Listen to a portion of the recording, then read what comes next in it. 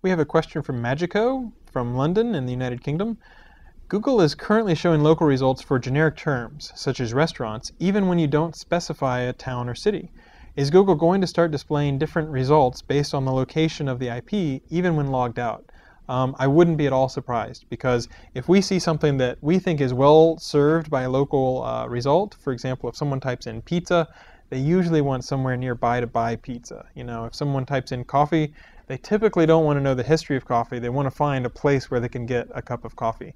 And that's useful whether you're logged in or not logged out or, or not logged in. So I don't know what the current status of that is, but it wouldn't surprise me at all if we said this is a query that we think is good for uh, a local result. You know, if someone types in movies or weather, let's go ahead and show the best guess that we can of what they want, even if they're not logged in.